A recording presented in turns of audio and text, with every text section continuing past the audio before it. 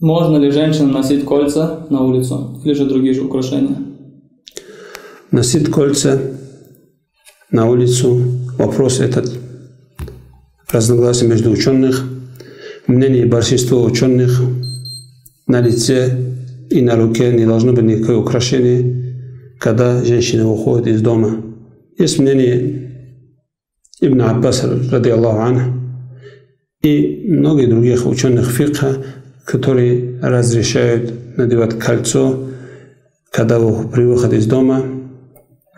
И они это тафсир делают «Илля ма вахара минха», который сказано, все, чтобы укрывать свою э, красоту, кроме которой э, видно, они считают видно это кольцо на пальцах и э, хина, который находится в руках. Но мнение большинства ученых, что нельзя кольцо носить когда выходит из дома, и это является украшением, и э, надо это украшение скрывать, когда выходит из дома человек, женщина.